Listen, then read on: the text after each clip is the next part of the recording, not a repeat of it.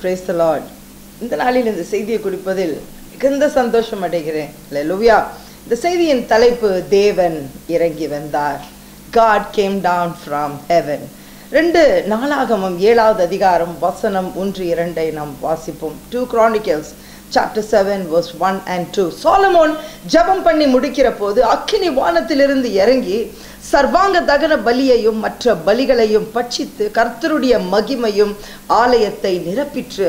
கர்த்தருடைய மகிமை கர்த்தருடைய ஆலயத்திலே ஆலயத்தை நிரப்பினதினால் ஆசாரியர்கள் கத்தருடைய ஆலயத்துக்குள் பிரவேசிக்க கூடாது இருந்தது சில நேரத்திலே இந்த வசனத்தை வாசித்து அடுத்த வசனத்துக்கு நாம் கடந்து போகலாம். சரி சாலமன் ஜபித்த பொழுது அக்கினி இறங்கியது என்று சொல்லி ஆனால் ஆண்டவரே நான் ஜபித்த பொழு பொழுது கூட ஆண்டவரே இவ்விதமாக அக்கினி இறங்க வேண்டும்.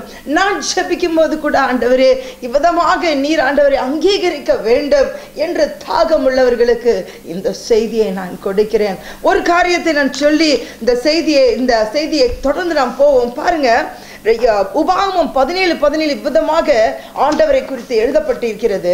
உங்கள் தேவனாகிய கர்த்தர் தேவாதி தேவனும் கர்த்தாதி கர்த்தரும் மகத்துவமும் வல்லமையமும் பயங்கரமுமான தேவனுமாய் இருக்கிறார். அவர் பட்சபாதம் பண்ணுகிறவர் அல்ல. கரெக்ட் ஆண்டவருக்காக தட்டுவோமா? Is not a a God god. லூயா சாலமனை நேசித்து சாலமனுடைய அந்த ஜபத்தை அங்கீகரித்த தேவன் அக்கினியை வரவழைத்து அந்த அந்த அந்த அந்த தகன பலிகளை ஆண்டவர் அங்கீகரித்த தேவன் உங்களுடைய ஜபத்தையும் கண்டிப்பாக அவர் அங்கீகரிப்பார். அவர் அக்செப்ட் செய்து கொள்வார். அவர் பட்சபாதம் செய்கிற தேவன் அல்ல. Is not a partial God hallelujah பாருங்க இவ்விதமாக ஆண்டவர் எப்படி அந்த சோலமன் ஜபித்து முடிக்கிற போது அந்த அக்கினி இறங்கியது. அல்ல. இது ஒரு சாதாரண காரியம் இல்லைங்க. பாருங்க ஏதோ ஒரு நாள் ஜெபித்த பிறகு இந்த மாதிரியான ஒரு ஆசிர்வாதம் வரும் என்றல்ல. இதற்கு முன்பாக நிறைய ஆயத்தங்கள் நடத்தப்பட்டிருக்கிறது. கரங்களை ஆண்டவருக்காக தத்துவமா. லூயா there there lot of preliminary preparations if you want success in your life உங்கள் வாழ்க்கையிலே ஜெயம் வேண்டும் என்றால் உங்கள் வாழ்க்கையில நல்ல ஒரு ஆசீர்வாதம் வேண்டும் என்றால் நாம் விதைக்க வேண்டும். அல்ல லூயா சகல நிறைய ஆயத்தங்கள் செய்தார் சொலமன் என்று சொல்லி நாம் பார்க்கிறோம். ரெண்டு நாளகமும் மூன்றாவது அதிகாரம் அவருடைய அந்த தேவனுக்கு அவர் செய்த அந்த காரியங்கள் அவருடைய கீழ்ப்படிதலை முதல் முதலில் நான் சொல்ல விரும்புகிறேன். ரெண்டு நாடகமும் மூன்றாவது அதிகாரம் ரெண்டு வசனம் ரெண்டு. அவன் தன் ராஜ்யபாரம் பண்ணின நாலாம் வருஷம் இரண்டாம் மாதம் இரண்டாம் தேதியிலே கட்டத் தொடங்கினான். லோயா பாருங்க. சாலமனுடைய நாலாவது வருஷத்திலே நாலா நாலா நான்காம் வருஷத்திலே கட்ட துவங்கினார். அப்படி அந்த முதல் மூன்று வருடம் சாலமன் ராஜபாரம் செய்த அந்த மூன்று வருடங்கள் என்ன? ஓ நான் என்ன தேவனுக்காக ஆலயம் கட்டலாமா? வேண்டாமா? என்ற டவுட்ல இருந்தார? கிடையாதுங்க. அந்த மூன்று வருஷமும் அவர் ஆயத்தங்கள் செய்தார். கரங்களை தட்டுவோமாக let give God a mighty hand of praise. எந்தவித ஆயத்தமும் இல்லாமல் எந்தவித ஜப ஆயத்தமும் இல்லாமல் இப்பொழுதெல்லாம் பார்க்கும்போது ஃபாஸ்ட் ஃபுட் மாதிரி வாழ்க்கை போயிட்டு இருக்குது அல்ல நேற்று நேற்று ஒரு பையனை பார்த்து இன்னைக்கு முடிவு பண்ணுவாங்க. நான் இவ்வளவுதான் கல்யாணம் பண்ணுவேன். ஒரு ஒரு சகோதரி சொல்றாங்க மூன்று மாதம் அந்த ச அந்த சகோதரனை தெரியுமா? பைக்கில் பின்னால் போயிருக்காங்க. எனக்கு இமெயில் எழுதுறாங்க அவன் இல்லாமல் என் வாழ்க்கையே இல்லை. அல்ல லூயா. பெற்ற தாய் தகப்பனை விட்டுட்டு யாரோ ஒரு ரெண்டு மாசம் மூணு மாசம் பழகினவனுக்காக வீட்டையே விட்டுட்டு ஓடி போகும் பெண்கள். அல்ல லூயா தாய் தகப்பனை மறந்து போகும் சகோதரர்கள். இப்படிதான் இந்த காலகட்டத்தில் தான் நம்ம வாழ்ந்துட்டு இருக்கிறோம். அது மாத்திரம் அல்ல இந்த மாதிரி பதினெட்டு வயசுல ஓடி போற நிறைய கதைகள் நிறைய சினிமாக்கள் வந்துருச்சு.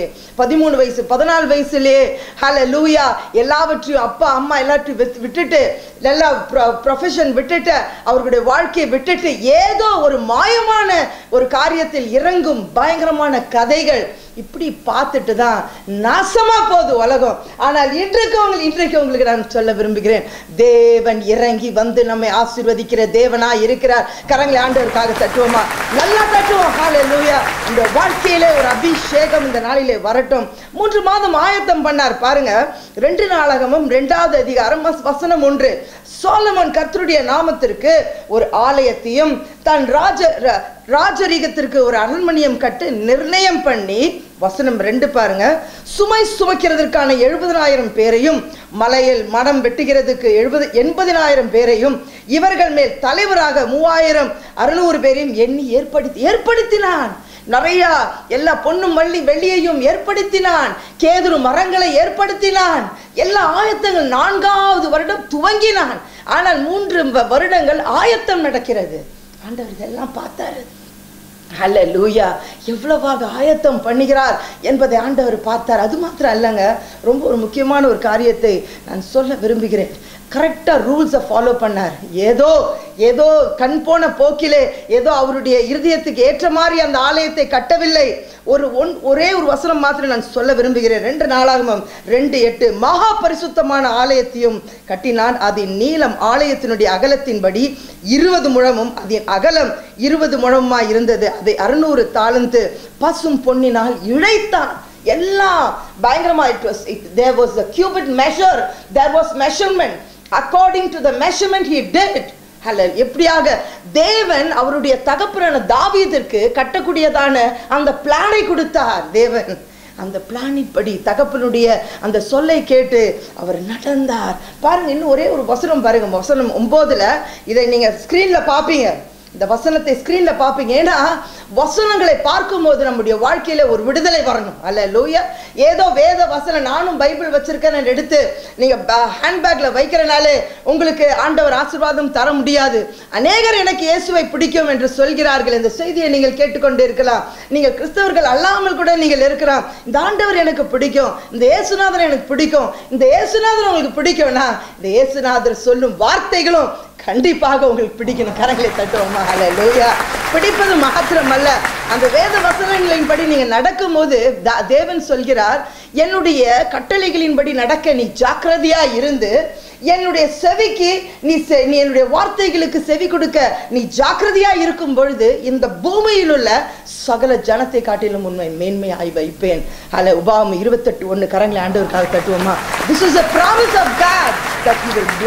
சாலமனை ஆண்டவர் ஆசீர்வதித்தார். இந்த நாளிலே நீங்கள் வேதனையோடு அமர்ந்து இருக்கலாம் சிஸ்டர் எப்ப சிஸ்டர் என் ஜெபம் கேட்கப்படும்? என் வாழ்க்கை ஏன் சிஸ்டர் விதமாக இருக்கிறது? இந்த செய்தி உங்களோடு பேசட்டும் தேவ ஜனமே. பாருங்க அந்த ஒன்பதாவது வசனத்திலே ஆணிகள் இந்த வசனம் என்னை மிகவும் தொட்டது.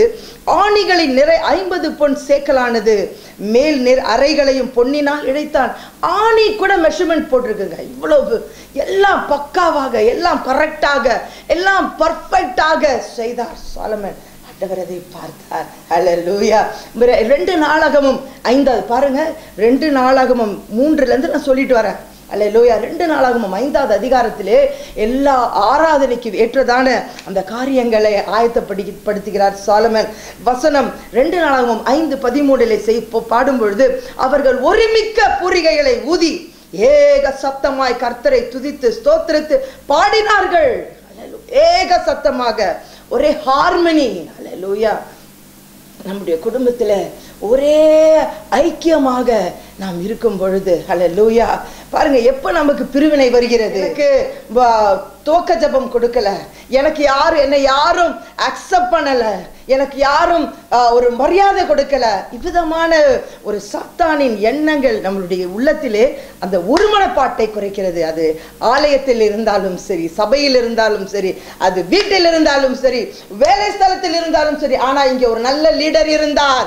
சாலமன் ஒரு மனதோடு அந்த ஆராதனை காரியங்களை செய்கிறார் என்று நாம் பார்க்கிறோம். பிறகு ரொம்ப முக்கியம் ரெண்டு நாளாம் ஆறாவது அதிகாரத்திலே ஜபிக்கிறார். இரண்டு கரங்களையும் மேலே தூக்கி அவர் ஜபிக்கிறார். பாருங்க எவ்வளோ வசனங்கள். ஆறாவது அதிகாரத்திலே ஃபுல்லா வசனம் தான். பிறகு அப்புறம் இதுதான் நம்ம தியானம் பண்ணுகிற இந்த வசனம். ரெண்டு நாளாகவும் ஏழாவது அதிகாரத்திலே வேதம் அழகாக கூறுகிறது. சாலமன் ஜெபம் பண்ணி முடித்த பொழுது தேவனுக்கு தேவன் சொல்லும் காரியங்களை நீ செய்து முடிக்கும் பொழுது அல்ல லூயா ஆமே வேதம் ஆண்டவர் உங்களுக்கு கொடுக்கிற அந்த உள்ளத்தில் வைக்கிற காரியங்கள் நீங்கள் செய்து முடிக்கிற பொழுது உபவாசம் செய்து முடிக்கிற பொழுது மற்றவர்களை மன்னிக்கும் பொழுது எல்லா காரியத்தையும் செய்யும் பொழுது அப்பொழுது தேவன் வானத்திலிருந்து அக்கினியை கொண்டு வந்து உங்களை ஆசீர்வதிப்பார். கரங்களை ஆண்டவருக்காக தட்டுவோமா? நல்லா தட்டுவோம். அல்ல லூயா எங்களுடைய வாழ்க்கையிலே சமீபத்தில் நடந்த ஒரு காரியத்தை சொல்லி நான் முடிக்க விரும்புகிறேன். ஒரு முக்கியமான ஒரு தேவைக்காக கிட்டத்தட்ட ஒரு வாரமாக நாங்கள் ஜெபித்து கொண்டு இருக்கிறோம் அநேக பண தேவைகள் ஜெபித்து கொண்டு இருக்கிறோம் சுற்றியில சுற்றில பிரச்சனை எல்லாம் குடும்பமாக நாங்கள் உபவாசம் இருந்து ஜெபித்து கொண்டு இருக்கிறோம் பாருங்க அப்பொழுது அந்த அந்த அந்த குறிப்பிட்ட அந்த நேரத்திலே நான் நாங்கள் அபைட் ஸ்கூல் என்ற ஸ்கூலை ஏழை பிள்ளைகளுக்காக நாங்கள் நடத்தி கொண்டு இருக்கிறோம் அந்த ஸ்கூலிலே நான் இருந்தேன். என்னுடைய தாய் கிறிஸ்துமஸ் பொழுது எங்கள் எங்களோடு வந்து தங்கி கொண்டிருந்தார்கள். எங்கள் வீட்டில் எங்களோடு இருந்தார்கள். கணவர் என் பக்கம் வந்து என் செவிகளில் அவர் சொன்னார் கர்த்தர் நம்முடைய ஜபத்தை கேட்டார். நமக்கு தேவை என்ன பணமோ அந்த காரியத்தை ஆண்டவர் நமக்கு ஆசிர்வதித்திருக்கிறார் என்று சொல்லும் பொழுது அந்த இடத்தை கூட நான் மறந்து விட்டேன் மிகுந்த சந்தோஷம். நான் சொன்னேன் உடனே வீட்டுக்கு போய் இல்லை வீட்டுக்கு போகிறதுக்கு நேரம் ஆகும். உடனே வாங்க என்று சொல்லி என் ஆஃபீஸ் ரூம்க்கு என் என் கணவரையும் என் மகளையும் நான் அழைத்து உள்ளே போனேன். ஏன்னா அன்று ஆண்டவர் செய்த அற்புதத்தை என் மகளுக்கு நான் சொல்லணும். பாருங்க ஆண்டவரை குறித்து நம்முடைய பிள்ளைகளுக்கு நம்ம சொல்லணும். எவ்வளோ நம்ம கம்ப்யூட்டர் சொல்லிக் கொடுக்கலாம் நம்ம நம்ம பயங்கர பெரிய படிப்புகளெல்லாம் நம்ம பிள்ளைங்களுக்கு சொல்லிக் கொடுக்கலாம். ஆனால் கடவுளை பற்றி நம்ம சொல்லிக் கொடுக்கலனா கர்த்தரை பற்றி நம்மளுக்கு சொல்லிக் கொடுக்கலனா அவங்க வாழ்க்கையில கஷ்டம் தேவை வரும்பொழுது எங்கே போகணும்னு அவங்களுக்கு தெரியாது. கேட்குறீங்களா பெற்றோர்களே? ஹலோ லூயா நான் சொன்னேன் இந்த காரியத்தை நம் மகளோடு பகிர்ந்து கொள்ள வேண்டும் என்று உள்ளே கூப்பிட்டு தேவன் இதை செய்தார் என்று சொல்லும் பொழுது என்னுடைய தாய் எதற்காக இவர்கள் உள்ளே போனார்கள்? என்று சொல்லி அவர்களுக்கு தெரியல. அவங்க உள்ளே வந்தாங்க. கதவை திறக்கும் பொழுது அவர்களால் கதவை திறக்கவே முடியல. தேவ பிரசன்னம்.